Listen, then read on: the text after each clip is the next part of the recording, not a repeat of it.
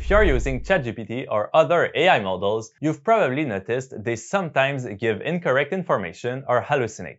RAG helps solve this by searching through external documents, but there's a new technique that takes a completely different approach, and it might be just what you need.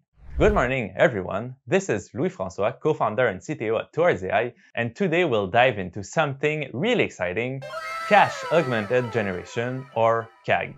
Before we dive in, if you are a student, researcher, or just an AI fanatic like me, struggling with stacks of papers and a cluttered desk, you will love the sponsor of today's video, Consensus. Consensus is an AI-powered academic search engine that searches over 200 million peer-reviewed papers. Consensus saves you a lot of time and gets you fast and reliable science-backed results. Ask any research question and instantly get evidence-based insights, study summaries, and even paper-level details like sample sizes and methodologies. It even recommends better or follow-up questions to help you in your research. You can then easily organize your research with auto-citations, bookmarks, and easy CSV exports, with useful information like the key takeaways instead of wasting time watching my videos explaining the papers, for example. Try Consensus today with the first link in the description. In the early days of LLMs, context windows, which is what we send them as text, were small, often capped at just 4,000 tokens or around 3,000 words, making it impossible to load all relevant context. This limitation gave rise to approaches like Retrieval Augmented Generation, or RAG, in 2023, which dynamically fetches the necessary context. As LLM evolved to support much larger context window, now up to 100,000 tokens or even millions of tokens, new approaches like caching or CAG began to emerge, offering a true alternative to RAG. Why did it take so long to begin? While CAG is efficient, it does come with costs. Back when GPT-4 first launched, using these large context models was up to 20 times more expensive compared to today's models, or even hundreds of times more expensive with the current mini models like GPT-4o mini. These early challenges reinforced the dominance of RAG for many use cases. However, we'll see why these recent improvements in model efficiency and cost have made CAG a much more viable alternative. So what is CAG? When using language models, there's usually a trade-off between speed and accuracy. RAG is great for accuracy but needs time to search through and compare documents, and it gets worse the more data you have. This is where CAG comes in and says, what if we just preloaded all that knowledge directly into the model's memory? Just like in long context models like Gemini, where you can send millions of words in a single query.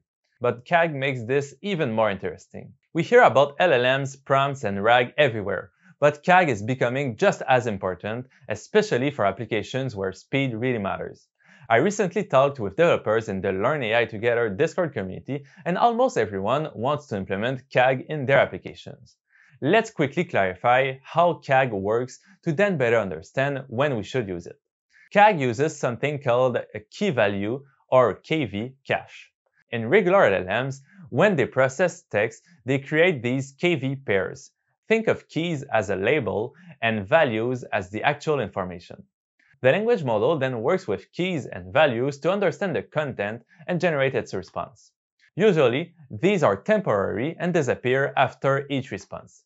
But CAG says, hey, why not save them and reuse them? Yes, CAG is used to save all your information in the cache of the model. Well, more specifically, it saves your computations from text to the intermediate results the transformer model sees, which is still quite a lot of computation saved if you are sending the same long context for every query. While this saves time processing all the text into these K and V pairs, we bring more compute to the table, filling the context size with the whole dataset we have. While there are several reasons why CAG is gaining popularity, it's mostly because of three things. First, it's fast. No need to search through documents anymore. It's more reliable. No risk of retrieval errors, but there's a risk of adding irrelevant information to every query, often causing issues to LLMs not being able to find valuable information in it. And lastly, it's quite simple. You don't need a complicated search and retrieval pipeline, just the LLM and its preloaded cache. Put simply, instead of searching through a database every time like RAG does, CAG preloads all the information into the model's memory. All of it.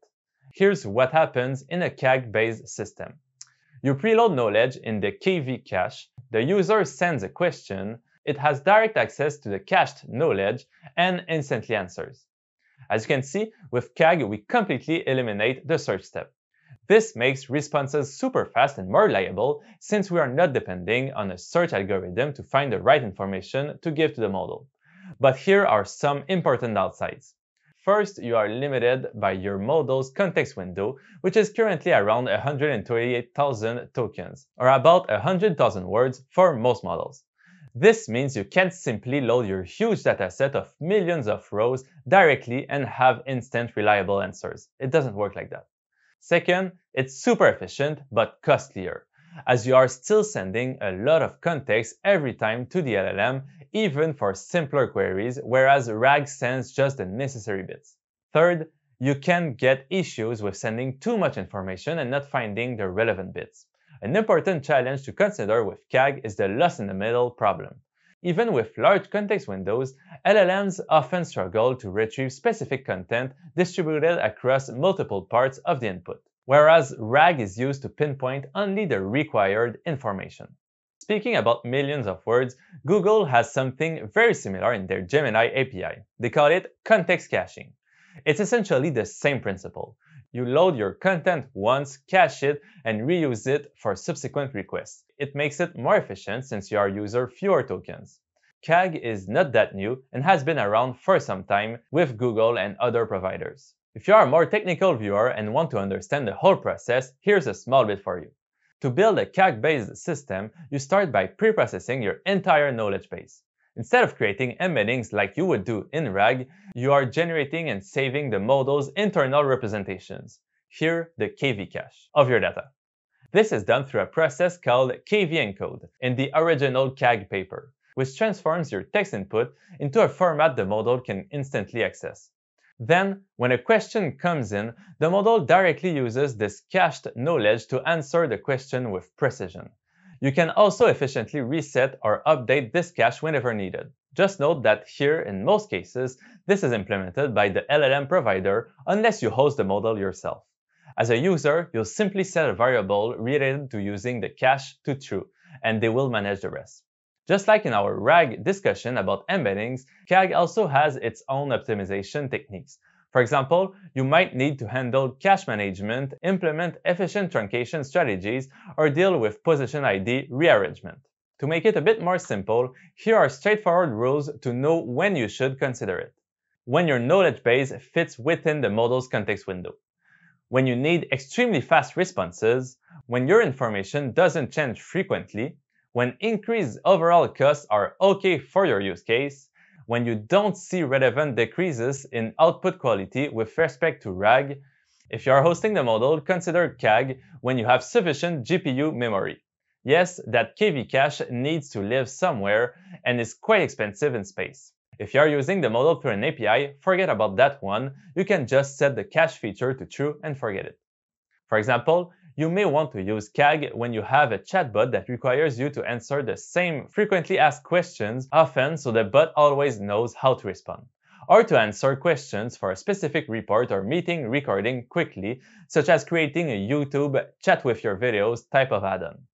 If you want an easy analogy to make your next decision, imagine you need to do an exam and you need to make a choice.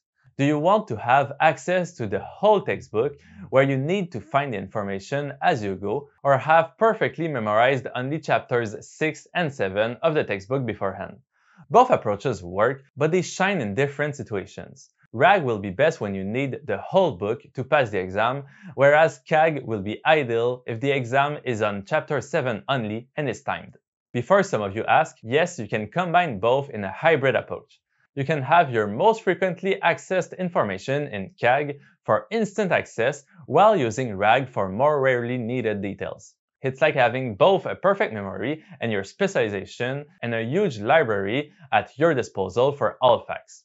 As LLMs become even better at managing vast contexts with lower costs, a well-implemented context caching feature could become the default for most projects just because it's so efficient. Still, RAG will likely remain indispensable for edge cases where knowledge bases are exceptionally large or highly dynamic. I hope this video helped you understand what CAG is, how it differs from RAG, and when to use both. If you found it helpful, please share it with your friends in the AI community and don't forget to subscribe for more in-depth AI content. Thank you for watching.